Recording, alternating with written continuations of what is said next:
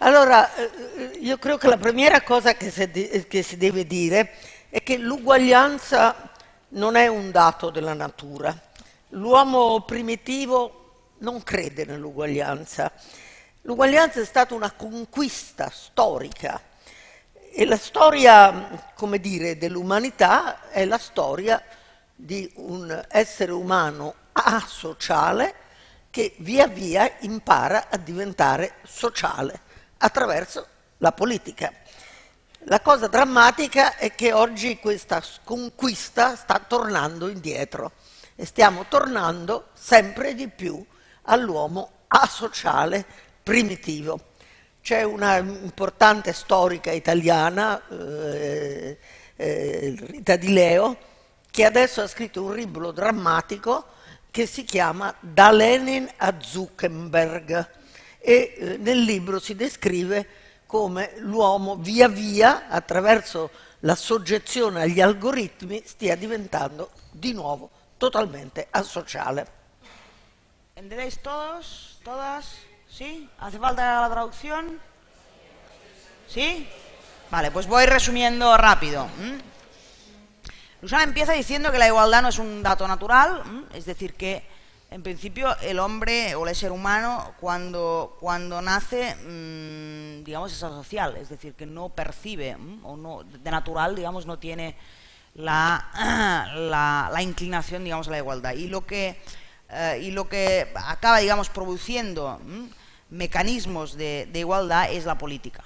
Y que, por lo tanto, la igualdad, digamos, es una conquista de la política y una conquista, digamos, que eh, ha sido muy dura de, de alcanzar. Y citaba, mmm, decía que, que, esta conquista, digamos, está mmm, volviendo atrás, o en todo caso eh, se está volviendo atrás en ese sentido, y citaba el libro de Rita Di Leo, que es una historiadora italiana, uh, de, que tiene un título, digamos, bastante significativo, que uh, es De Lenin a Zuckerberg, ¿no? Y entonces explicaba cómo, el libro explica cómo Uh, se ha pasado de una situación en la cual había lazos, digamos, de solidaridad bastante importantes a la vuelta al hombre asocial o al ser humano asocial porque está, uh, digamos, sometido ¿no? al poder de un algoritmo, ¿m? en ese sentido. Eh, il risultato è la disuguaglianza che è cresciuta sempre di più e io non vi annoierò con i dati che conoscete benissimo, ho sentito oggi quelli della disuguaglianza spagnola, quelli dell'Italia sono altrettanto drammatici. E però a me mi ha colpito più di tutti, fra tutti i dati sulla disuguaglianza che ho sentito, quello relativo a Londra, il massimo del capitalismo vincente, e che è stato calcolato sulla metropolitana eh, di Londra eh, se si prende la metropolitana, la linea Jubilee, che va dal centro verso la periferia est, a partire da un certo momento, ad ogni fermata della metropolitana, si verifica che in quella zona ci sono ogni volta sei mesi di meno di media di vita possibile. Quando si arriva infine sono anni, cioè si vive di meno perché si è più poveri. E questo calcolato sulla metropolitana fa davvero impresione. Uh, eh, decía evidentemente que los datos sobre la desigualdad son muy claros. Uh, hoy escuchaba los de, los de España que son cada vez más, uh, digamos, preocupante, y decía, preocupantes y decía también que los de Italia, digamos, más o menos por ahí, por ahí.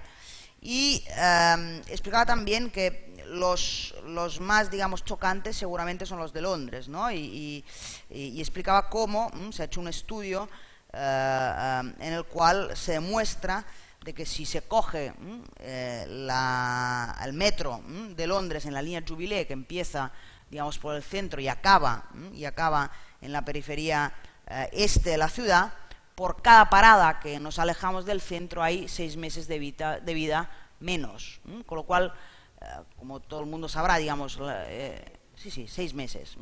Y por lo tanto, como todo el mundo sabrá, digamos, como la, la, la línea metropolitana, digamos, de Londres tiene muchísimas paradas, desde el centro hasta el final de la línea en la, uh, en la periferia, ¿no? Estamos hablando de años de vidas de menos. Bene, la, la, disuguaglianza è aumentata, come sappiamo, perché nel reddito, calcolato nel reddito, la quota del capitale finanziario è enormemente aumentata, è diminuita la quota dei salari, perché le prestazioni del welfare si sono ridotte e quindi hanno prodotto più povertà, perché la tassazione, il fisco, è sempre meno progressivo in tutti quanti i paesi.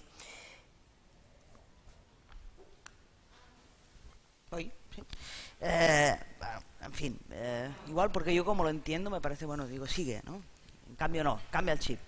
Pues eh, decía, bueno, si, si, analizamos los datos, eh, lo que se puede observar es que la, las rentas del capital financiero han aumentado muchísimo y en cambio tanto los salarios como las estructuras del, del, estado del bienestar, uh, uh, como uh, digamos las, las retribuciones digamos del, del, de los sectores digamos más más pobres digamos de la, de la población digamos han bajado con lo cual estamos delante digamos de una progresiva de una progresiva situación de desigualdad cada vez más fuerte ma credo che la cosa che più ci interessa, diciamo, e che è la più grave, è che la povertà è aumentata perché è diminuito il potere di chi combatteva per un'alternativa, perché c'è stata in questi anni una drammatica decomposizione della forza lavoro, vale a dire di quella classe che secondo Marx e anche secondo molti di noi aveva il ruolo storico di seppellire il capitalismo.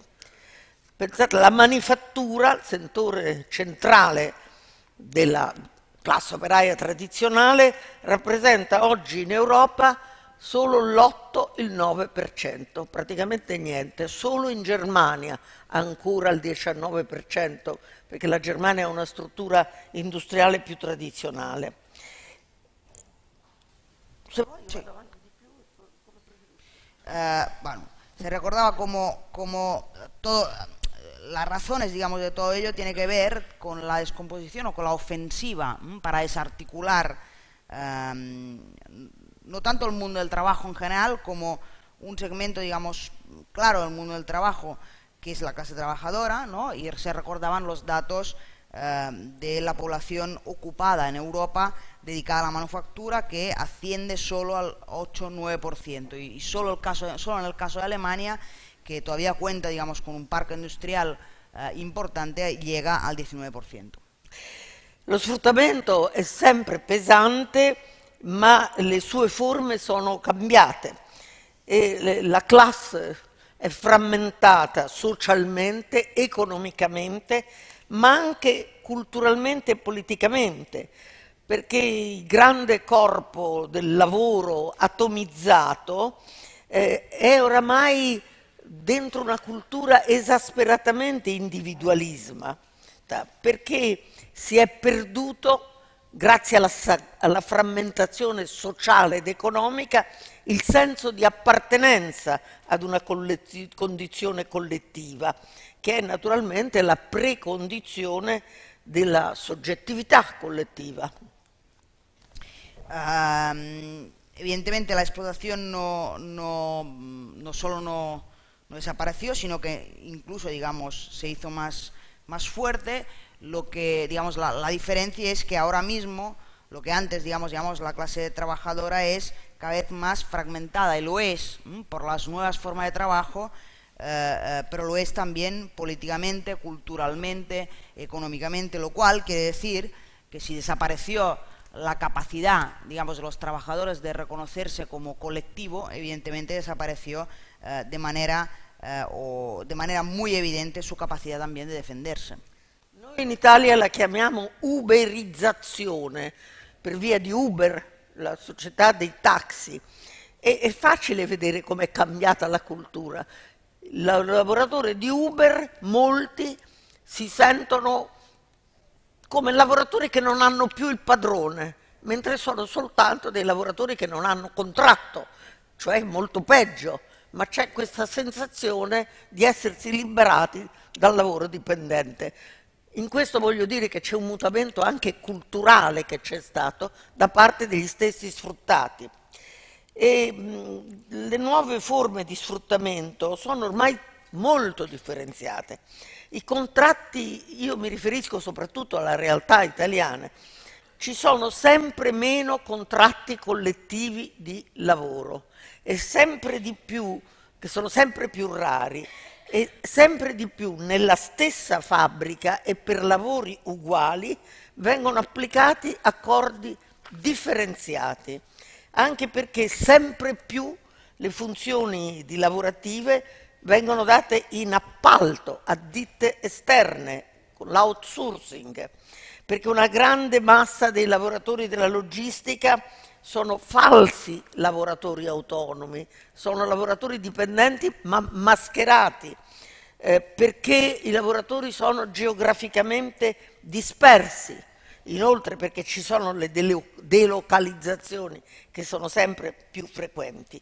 Il risultato è che mobilitare questa forza lavoro è sempre più difficile. Um, en Italia se, se, utiliza el concepto, digamos, de uberización um, para definir este, este fenómeno. Um, y, y, y, esto viene de la idea mm, de que los trabajadores de Uber, que en el fondo, digamos, están en unas condiciones, digamos, terribles, incluso, digamos, no perciben uh, esta misma explotación, ¿no?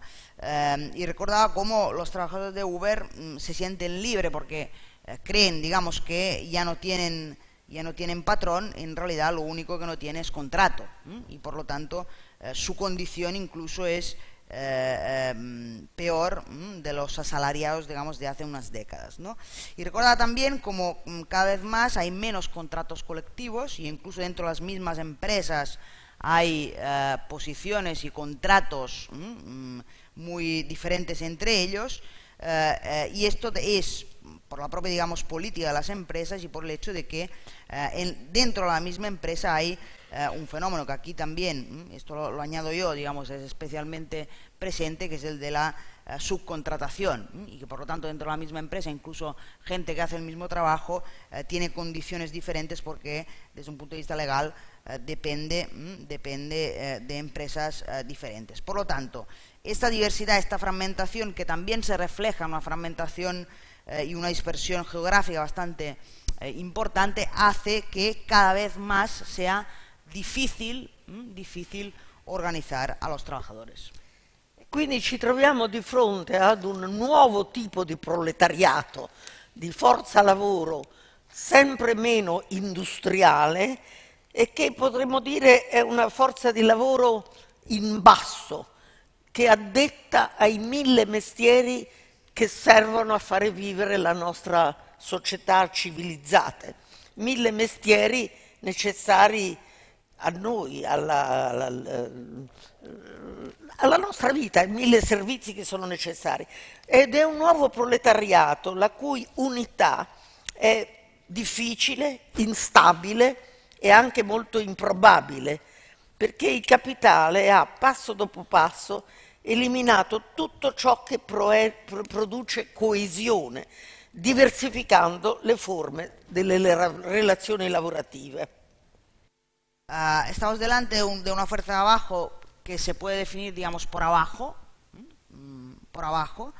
Um, en realidad se trata de una fuerza de abajo compuesta por los mil, miles de tipos de trabajo uh, que ahora mismo tienen que ver con el, con el sector uh, servicios y por lo tanto, digamos, la unidad de estos trabajadores es difícil, inestable eh, y probablemente, eh, o mejor dicho, improbable. Es decir, será muy difícil eh, construirla. ¿no? En ese sentido, Lusan recordaba cómo las nuevas formas, digamos, de capitalismo se han empeñado y empeñado mucho en desarticular cual, cualquier mecanismo que pudiera funcionar como cohesionador de los trabajadores.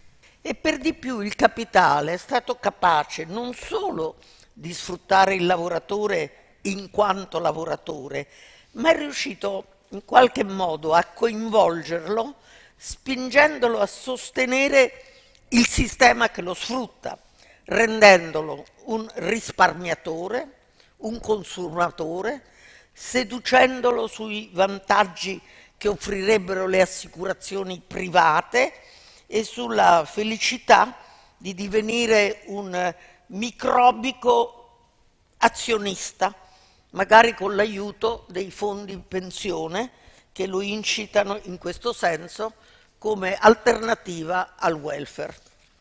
E così oggi abbiamo un lavoratore spaventato per le trasformazioni del mercato del lavoro, terrificato dalle trasformazioni del sistema delle pensioni e per le incerte fortune degli investimenti che è stato spinto a fare e infine un creditore indebitato perché dipendente dai crediti bancari che come le banche come i pusher che danno la droga lo hanno spinto a fare crediti per comprarsi la casa, questo o quello.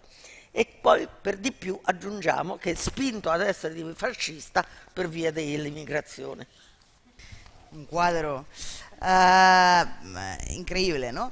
Uh, las formas de explotación, digamos, de los trabajadores um, se han, uh, en cierta manera, um, diría yo, perfeccionados, perfeccionado, entre otras cosas porque el propio sistema el que ha conseguido hacer es cambiar las pruebas coordinadas, digamos, del, incluso culturales del, del trabajador, ¿no? El trabajador eh, se ha transformado, o el sistema ha querido que se transformara en un ahorrador, en un consumidor, en una persona que eh, confía, digamos, en los eh, seguros privados e incluso le ha ofrecido, digamos, el sueño o, el engaño de poder mm, devenir un mini accionista, ¿no? un pequeño un pequeño accionista. El resultado de todo ello, digamos, es un trabajador que está preocupado, que está terrificado por sus eh, condiciones laborales, eh, que está preocupado por lo que pueda pasar en el futuro y también, mm, y también un trabajador que a la hora de la verdad se ha acabado convirtiendo en un deudor de bancos y por lo tanto, digamos, en una persona en cierta forma cautiva. Tanto per completare il quadro, diciamo che ci sono oramai nuove contraddizioni diverse da quelle capitale lavoro, anche se pur sempre a questa contraddizione collegate, che sono andate emergendo negli ultimi decenni. La contraddizione di genere, quindi il femminismo, la contraddizione ecologica, la contraddizione etnica, con i, tutti i rigurgiti identitari, i revival identitari e così via. E tutto questi hanno portato sulla scena nuovi soggetti, nuovi movimenti, diversi, il movimento ecologista, il movimento femminista e così via, che trovano però espressione in forme eh, diverse da quelle tradizionali, con movimenti diversi da quelli tradizionali del movimento operaio. Dico tutto questo perché anche questo, sebbene sia una ricchezza, ma però rende sempre più difficile, devo avere perso questo, no? no. Eh, sempre più difficile di... Eh, declinare il noi, dire noi è sempre più difficile perché dentro i nostri stessi movimenti ci sono tutte queste diversificazioni di culture e di pratiche. Uh, de hecho, con, con, estas transformaciones han aflorado nuevas contradicciones que tienen que ver con el género, con, uh, digamos, con la sostenibilidad ambiental, con uh, la relación entre culturas y entre eh, gente de procedencias eh, diferentes, ¿no? con lo cual digamos, han aflorado nuevos sujetos eh, y nuevos movimientos ¿no? que han roto ¿m? con las formas tradicionales eh, típicas digamos, de, la, de, las luchas del movimiento, de los movimientos sociales propios ¿m? del movimiento obrero y que a pesar de que evidentemente representan ¿no? una riqueza importante, hacen que cada vez más sea difícil poder conjugar un nosotros que pueda abarcar differenti aspetti.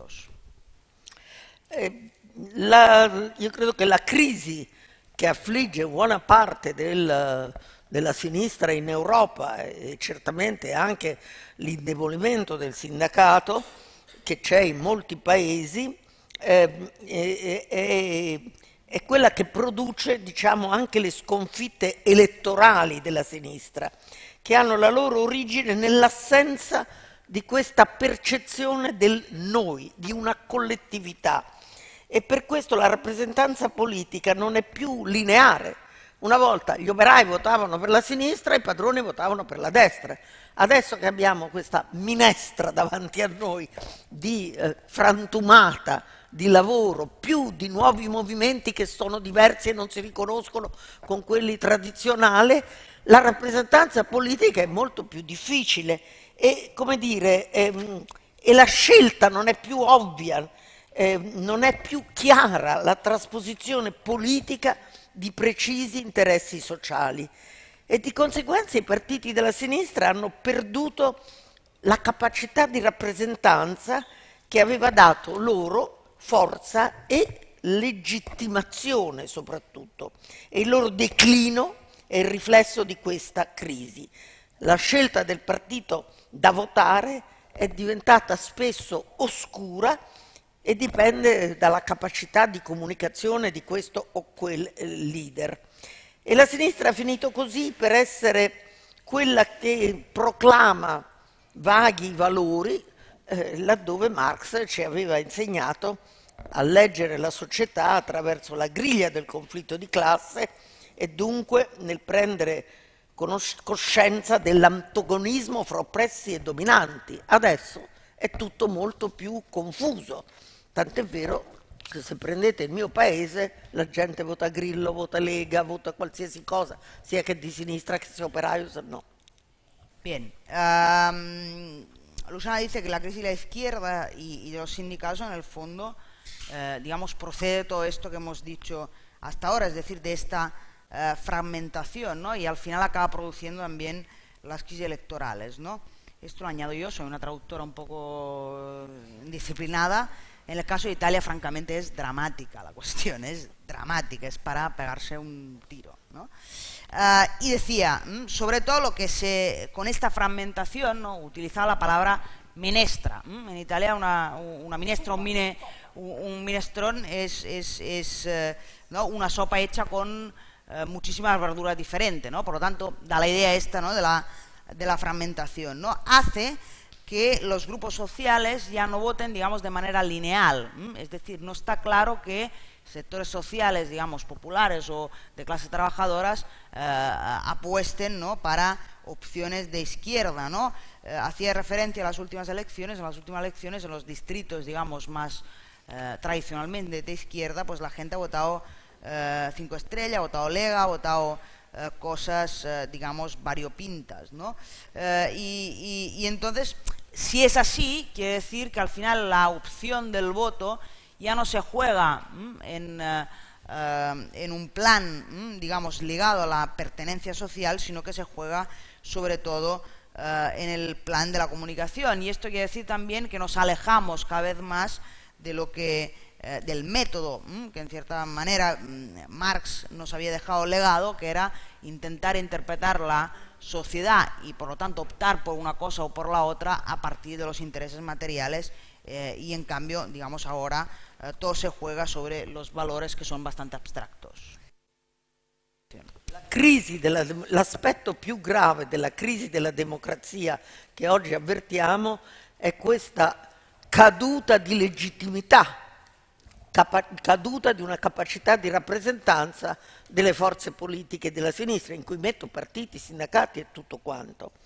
Più, ma questa, vuoi tradurre questo? Poi ne dico un'altra, allora, oppure parto a un'altra. L'altra è che in questi anni eh, c'è stata eh, non solo la privatizzazione di qualche linea ferroviaria o di qualche servizio pubblico, ma la privatizzazione più grave è la privatizzazione del potere legislativo. Il grosso delle decisioni non viene più preso né dai nostri parlamenti nazionali né dal Parlamento europeo, ma da nessun organismo democratico. Il grosso delle decisioni che contano sono la conseguenza di accordi commerciali privati presi dal grande capitale finanziario o commerciale a livello globale. Faccio un esempio.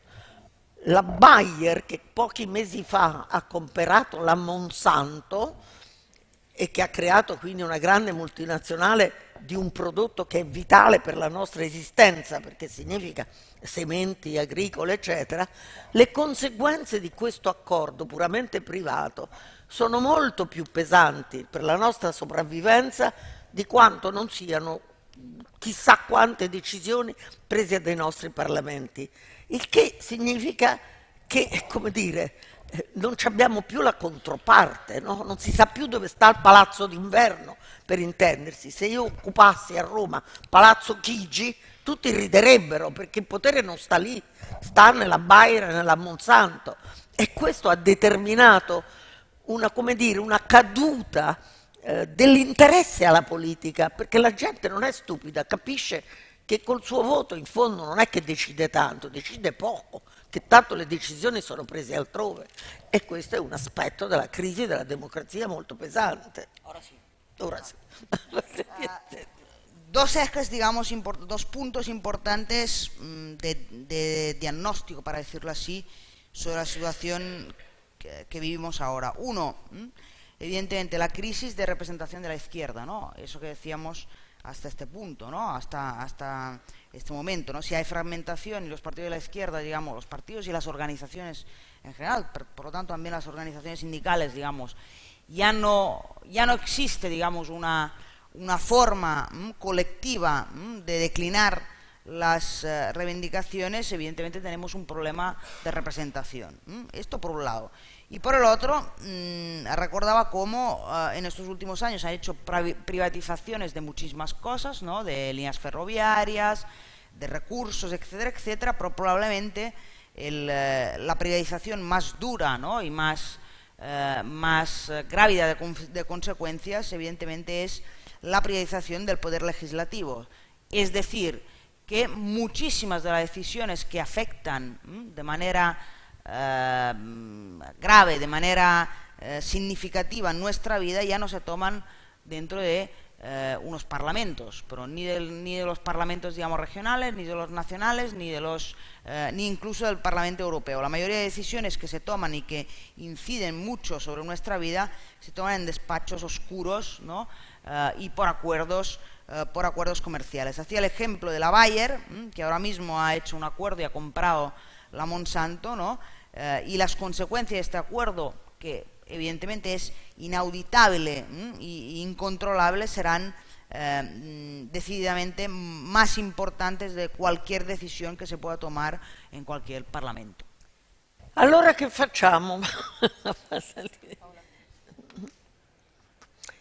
allora che facciamo? Eh, bisogna Io credo che la prima cosa e la più importante che dobbiamo fare è cercare di ricostituire eh, la rappresentanza di questo mondo del lavoro frantumato eh, e attraverso una ricomposizione di questo corpo frantumato.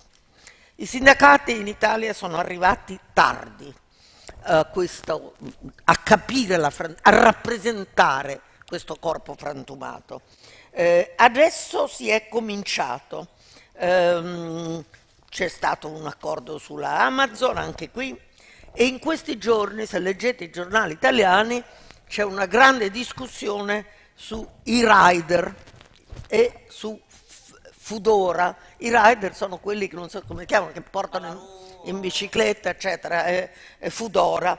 E ehm, ci sono oggi due diverse sentenze, Tribunale di Torino e Tribunale di Milano. Il Tribunale di Torino dice no, i lavoratori di, eh, i rider, i lavoratori di Fudora non sono dipendenti, sono lavoratori autonomi, indipendenti. Il Tribunale di Milano dice no, quelli di Fudora sono dipendenti, ma invece i Pony Express, che sono altra cosa, quelli sono invece autonomi. E sapete perché? Perché quelli di Fudora dipendono dagli algoritmi, e cioè dalla, dall'app degli algoritmi che, dal quale poi prendono il lavoro. E quindi quella è un'imposizione, mentre i Pony Express prendevano le loro indicazioni attraverso la radio e quindi non è la stessa cosa e quelli sono autonomi. Capite in che pasticcio ci troviamo, no? Cioè che... Eh? Traduci, sì. No, nos perderemos, no? Y aquí la pregunta es la pregunta de siempre, ¿no? Y además ahora todavía más, ¿no? 100 años después, ¿qué es qué hacer? ¿Qué hacer? La pregunta es qué hacer. Y, mm, y la primera cosa que tendríamos que hacer, según Luciana, es reconstruir la representación del mundo del trabajo. Este cuerpo que está tan desarticulado, tan desvertebrado, para decirlo en cierta manera, se debería reconstruirlo. Y decía, en Italia los sindicatos han llegado tarde, los sindicatos llegado un poco tarde, aunque en los últimos tiempos, digamos, se han puesto las pilas, para decirlo eh, rápido. Recientemente había un acuerdo sobre Amazon.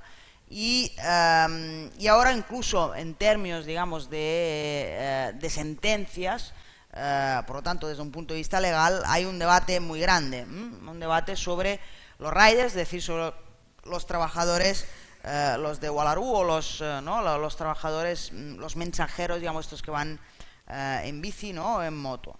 Y de momento tenemos dos sentencias diferentes, una de, del Tribunal de Turín que dice que no son trabajadores por cuenta ajena, sino que son trabajadores autónomos. Hay una sentencia del Tribunal de Milán que dicen, en cambio, que sí que son trabajadores por cuenta ajena y los diferencias, los diferencia de los mensajeros, para decirlo así, de toda la vida, eh, que en ese caso eh, sí que son trabajadores autónomos porque eh, cogen sus comandas de la radio. Y por lo tanto como no son digamos esclavos entre comillas de un algoritmo sí que son trabajadores autónomos. Dicho de otra manera como decía Rusana digamos hay hay gran confusión bajo el cielo como mínimo bajo el cielo de lo de lo, de lo che giuridicamente eh, si può dictaminare. Abbiamo avuto un accordo, almeno una vittoria però a Bologna dove fra sindacato e comune si è riusciti a fare un accordo molto strano con i lavoratori di Fudora ed è stata la prima vittoria e il primo maggio finalmente si è celebrato l'ingresso nel mondo diciamo, del lavoro contrattato, quindi del sindacato, di questi lavoratori che non c'erano mai entrati. Questo per dirvi che si comincia, ma con grande fatica. Comunque siamo di fronte ad un attacco, lo sappiamo bene, al sindacato in quanto tale, anche che nasce dalla riduzione del lavoro necessario. E qui si impone un tema che è il tema che stiamo discutendo dappertutto, completamente separati l'uno dall'altro la questione del reddito di cittadinanza o reddito di inclusione, ha molti nomi questa cosa, ma è un problema che avremo, e cioè di fronte alla riduzione del lavoro necessario per via delle tecnologie e l'aumento dei senza lavoro, soprattutto di gente giovane che non ha mai lavorato, quindi non rientrano nella categoria dei disoccupati, che sono quelli che lavoravano e poi diventano disoccupati, ma sono giovani che non hanno mai lavorato, si impone il tema del salario di inclusione. È un tema difficile, non lo affronto neppure perché ha molti aspetti complicati, ma io credo che questo sia un tema che i sindacati europei dovrebbero discutere insieme per farne una grande campagna europea comune, arrivare ad una proposta comune che è un problema storico che ci dobbiamo porre.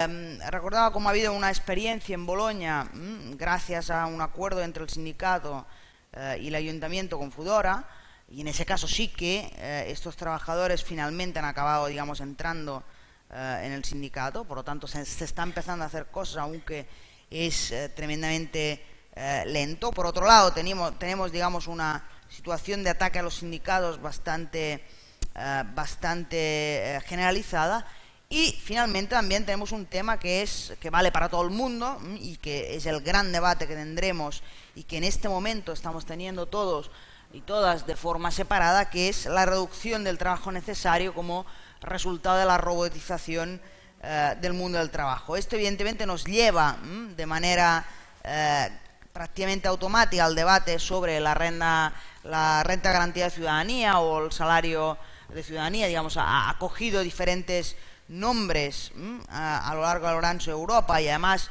significa, digamos, también eh, mm, cosas en parte diferentes y lo que decía Luciana es que en realidad este es un debate que eh, lejos de hacerlos todas y todos separados se debería hacer a nivel europeo y llegar a poder hacer una propuesta que fuera compartida para el conjunto de los países eh, europeos. Eh, Comunque credo che di una cosa dobbiamo essere coscienti, che non riusciremo ad arrivare ad una ricomposizione di un blocco sociale antagonista sulla base semplicemente delle domande e delle rivendicazioni immediate, ma viste le diversificazioni di collocazione sociale e di cultura, la riunificazione richiede una mediazione politico-culturale molto più complessa. Non è un caso che sebbene diciamo e continuiamo a dire che c'è da una parte l'1% che guadagna tot e il 99% degli sfruttati, il 99% non vince mai. Perché? Perché il 99% è facile da unirlo nella protesta, ma appena si va ad una alternativa, quello stesso 99% si frammenta in modo in mille pezzi perché eh, quel 99% non è omogeneo.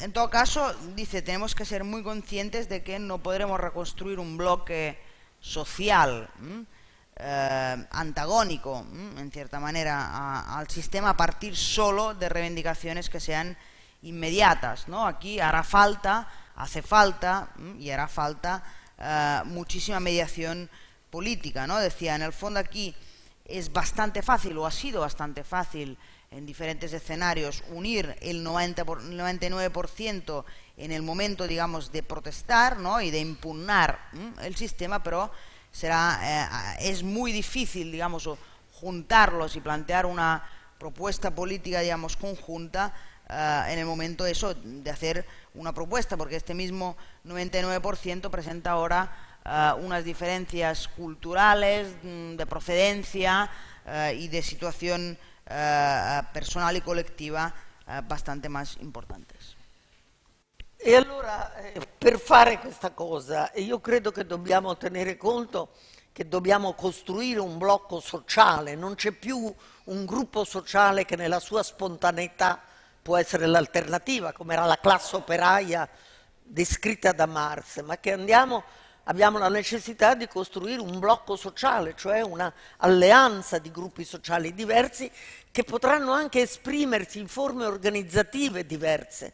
Noi siamo stati abituati nella storia a avere partiti politici che rappresentavano tutto e, e in qualche modo oggi dobbiamo sapere che ci sono i partiti, che ci sono i sindacati, che ci sono nuove forme di espressione, i movimenti che con i quali i partiti hanno guardato con diffidenza perché si muovevano sulla base anche di culture, di pratiche di lotta diverse e con i quali bisogna che i partiti abbiano, stabiliscono un rapporto, come dire, dialettico, anche perché questo è necessario a far perdere ai partiti la loro, come dire, autoreferenzialità, quasi che fossero gli unici legittimati a fare politica.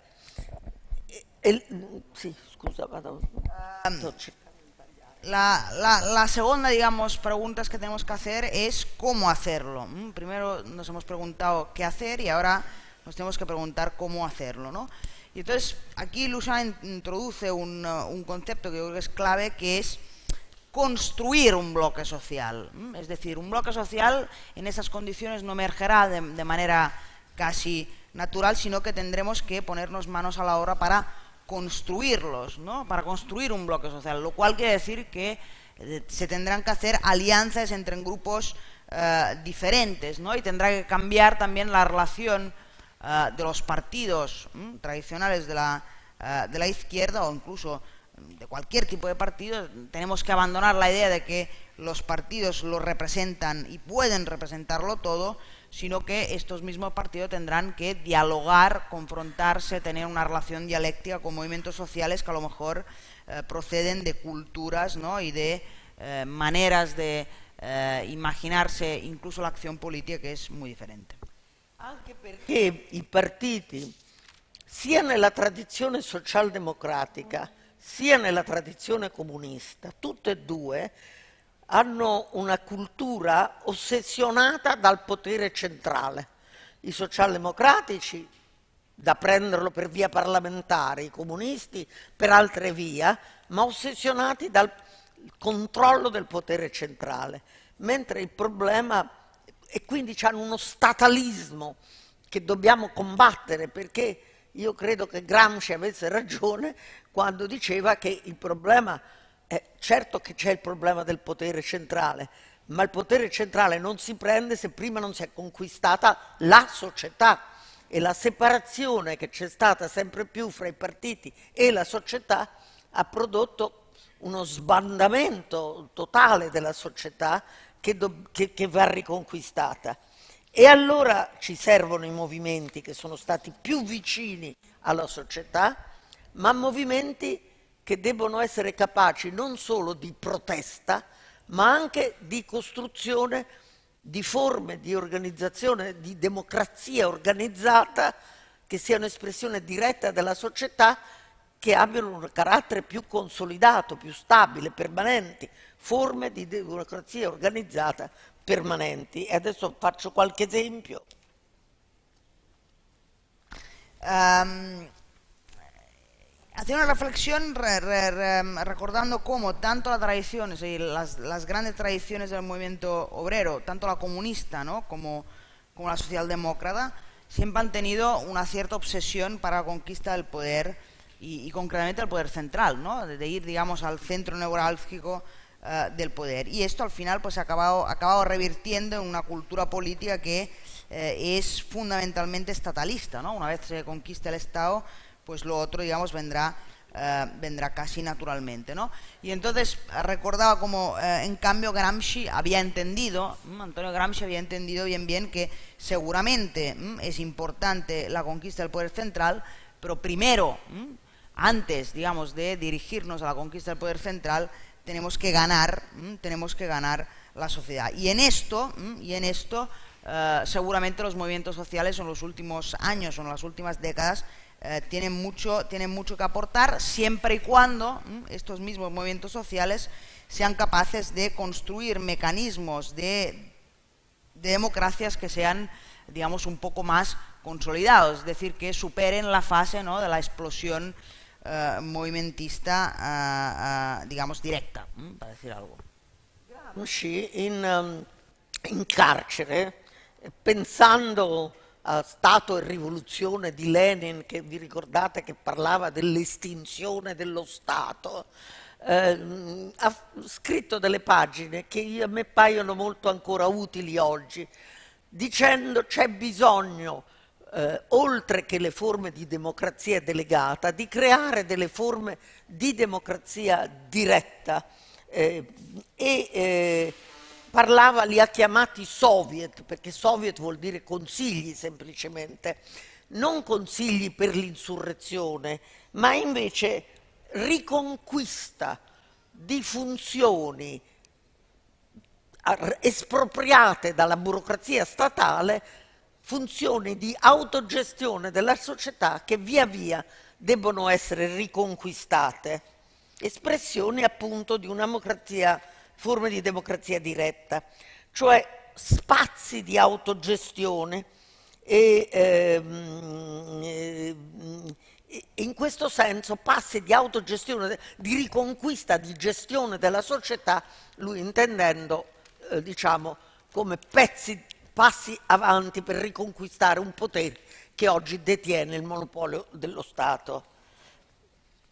Gramsci, de hecho, en, la cárcel, mmm, reflexionando sobre esta revolución, escribía mmm, que, eh, aparte de la, conquista del poder, hacían falta formas de democracia directa. Mmm. En ese caso él les llamó soviet, pero no, no, digamos, no tanto para la insurrección, sino eh, para la liberación y para la gestión. ¿no? En el fondo, el que planteaba era reconquistar espacios de eh, eh, democracia directa, es decir, reconquistar espacios que en este momento están a manos del Estado para que la sociedad eh, pueda decidir de forma más, eh, más directa y, más, y, y no delegada.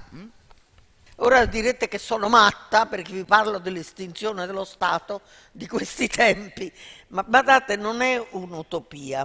Eh, il sindacato assieme ai movimenti, è stato il rapporto movimenti-sindacati dopo il 68 in Italia è stato molto antagonista e però anche alla fine molto positivo, beh, si è riusciti a creare qualche cosa che somiglia a quello che dice Gramsci. Consigli di fabbrica, che non erano organismi puramente sindacali, ma espressione di già di un potere politico, e cioè di una proposta di riorganizzazione del lavoro e dei rapporti di lavoro.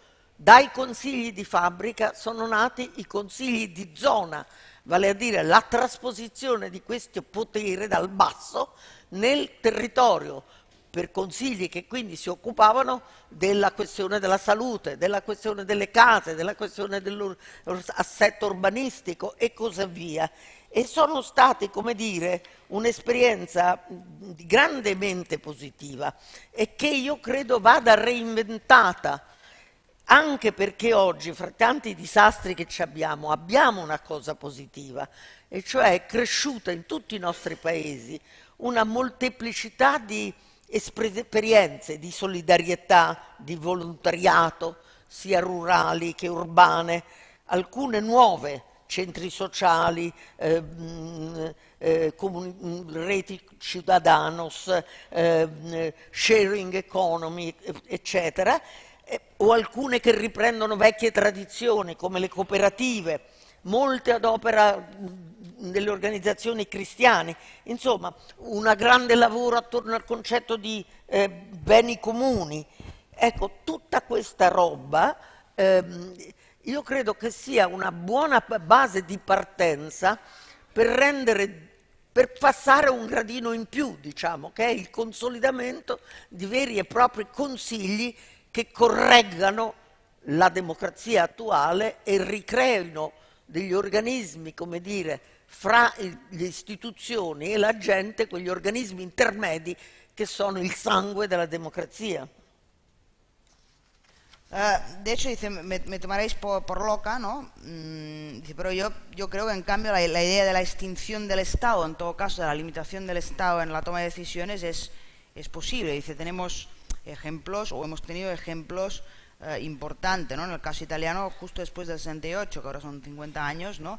Eh, hubo una relación bastante eh, dialéctica ¿no? entre las nuevas formas de eh, política y, también las nuevas formas sindicales, ¿no? y se llegó a la, constitución de los consejos de fábrica, ¿no? que iban un poco más allá porque hacían trabajo sindical, pero a la hora la verdad también incidían en la reorganización de la propia, de la propia estructura del trabajo de esa empresa. Y de ese de esa escala, digamos, acabó pasando a los consejos de zona. ¿no?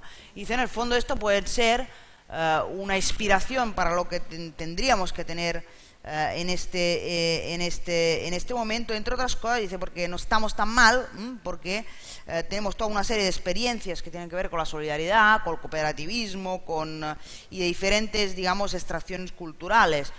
Tanto propia de la, de, digamos, más de nuestra tradición como católicas, ¿no? Eh, que pueden ser, mm, pueden ser una, una, base, un punto de partita per volver a una struttura eh, por, eh, por consejos. Queste cose sanno anche molte ingenuità, molto spesso queste forme di volontariato, di auto-organizzazione giovanile, che però sono delle esperienze certamente creative, io credo. È necessario dargli una maggiore consapevolezza di essere non soltanto carità, ma di essere un pezzo della costruzione di quello che Gramsci chiamava casematte, cioè un potere dal basso che comincia a crescere nella società e che quindi è come dire la preparazione di una preparazione di un'alternativa in cui l'opposizione non protesta ma comincia a gestire. In questo lavoro siamo facilitati dal Papa, il quale parlando ai movimenti a un certo punto è detto da un papa, mi pare interessante, che rivolta ai movimenti che sono più o meno quelli uguali a quelli nostri, laici e, e cristiani, gli ha detto ragazzi la carità è molto importante, ma ci vuole la politica e con questo diciamo tanto più noi possiamo dire questa, questa cosa. pueden parecer también formas, digamos, de organización ingenua, ¿no? Porque hay formas autoorganizadas que pueden, pueden parecer eh, ingenuas, pero al mismo tiempo son creativas, ¿no? y, yo creo que se cree, Luciana, que se tienen que poner en valor y sobre todo se tienen que conjugar dentro de un proyecto eh, político, ¿no? Y dentro de la idea de que es una preparación para un planteamiento de alternativa que puede ser viable, ¿no? Y recordaba cómo en el fondo eh, también Papa Francisco eh, habla este mismo idioma, en cierta forma, ¿no? El último encuentro, el último mm, encuentro que hizo con los movimientos católicos, ¿no? les dijo a estos jóvenes que la caridad es importante, pero más importante es la politica. Ultima cosa per finire. Io non credo che un, la, il problema della sinistra oggi, dei sindacati, di tutti, è più complicato perché non basta più, se vogliamo raggiungere l'uguaglianza, porci il problema di una distribuzione più equa degli stessi beni prodotti nelle stesse forme e consumati nelle stesse forme. La sinistra oggi si caratterizza e solo così potremo arrivare all'uguaglianza, se no no, perché noi vogliamo che ci siano beni diversi, nuovi, diversi dal passato, prodotti in modo diverso e consumati in modo diverso. Questo è quello che caratterizza oggi la sinistra. Che cosa voglio dire? Che produrre le stesse cose nello stesso modo oggi produce catastrofi ecologiche ed è impossibile e noi dobbiamo porci qualcosa di, di diverso. Faccio un esempio pratico. È una catastrofe pensare che ci sono, è totalmente irrazionale che ci siano supermarket pieni di, di beni superflui quando invece ci, la domanda per eh, i, i, i consumi collettivi che sono la salute, eh, che le città funzionano, l'istruzione sono completamente inevase. È il meccanismo capitalista in se stesso che produce, per, produce profitto invece che valori d'uso. E questa è la cosa che noi dobbiamo con più coraggio spiegare alla gente, che questo problema dell'uguaglianza deve rimettere in discussione il meccanismo stesso del capitalismo e che non c'è altra via, perché pensare di fare più beni da distribuire a tutti, questo sarà sempre più impossibile e dobbiamo cambiare l'ottica. Ma del resto l'infelicità della gente è prodotta, eh, lo sappiamo bene, un nonno che si ammala per una famiglia è una tragedia perché non si sa dove metterlo e avere tanti prodotti inutili al supermarket è inutile se il nonno non sai dove metterlo. Uh Dice, ahora mismo además eh, el, problema de la izquierda, digamos, es todavía más difícil. Uh, no solo a la izquierda, sino también de los sindicatos o, de todos aquellos sujetos que eh, quieran o se pongan, digamos, como objetivo la igualdad. Porque ahora mismo no es solo intentar buscar la forma de redistribuir lo que se haya producido y por lo tanto a lo mejor producir más para redistribuir más, sino que lo que se tendrá que explicar, lo que se tendrá que eh, conquistar, es que haya bienes diferentes, producidos de manera diferentes eh, y eh, em, consumidos de manera, de manera diferente. ¿no? Y hacía la, mm, el ejemplo, digamos, de los super. ¿no? Es, impensable, no tiene ningún sentido que los super estén totalmente llenos de bienes que son totalmente superfluos, ¿no? y que, eh, y que haya, eh, en cambio, una falta de servicios eh, endémicas. ¿no? Es decir, aquí nos tenemos que preguntar realmente qué demandas hay y qué ofertas hay, ¿no? en, cierta, en cierta manera. Por lo tanto, esto nos lleva, y aquí, y aquí acaba, ¿no? lleva, digamos, a intentar querer explicar que el problema no es como uh, redistribuir lo que se produce dentro del capitalismo, sino poner en telejuicio el mismo mecanismo del, uh, del capitalismo. ¿Sí? Basta, próxima volta.